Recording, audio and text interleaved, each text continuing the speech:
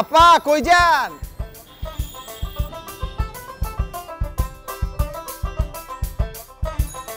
আপনার ছোট ভাইরে একটু আদব কথা শিখেন বুঝছেন? বেদ হয়ে গেছে। আর সামলায় রেখেন।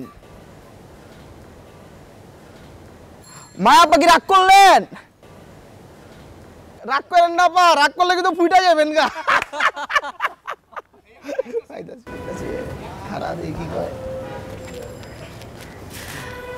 আপা, কিছু কইবেন? ও আচ্ছা। আপা, বাজারে যেতেছেন আপনি কোন দোকানে চাল জানি খান? ফরিদের দোকানে চাল খান। এই কারণে তো আপনার এই অবস্থা আপনারা সবাই মোটা।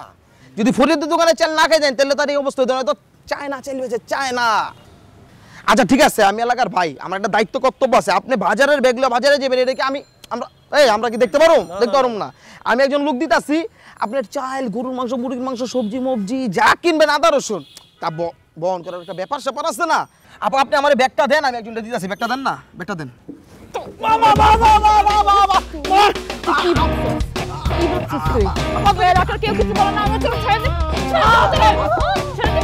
আপা আমার জীবনে করুন না জীবনে করবি না না, না, না, না, না।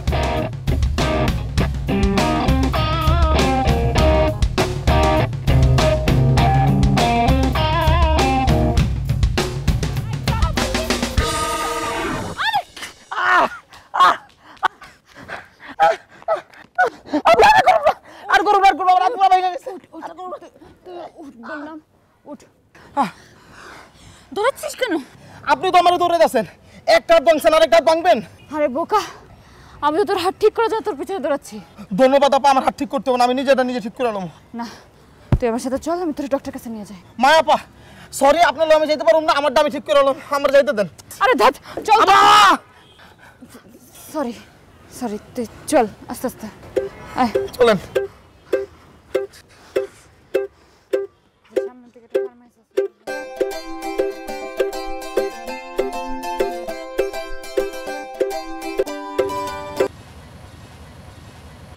আপনি?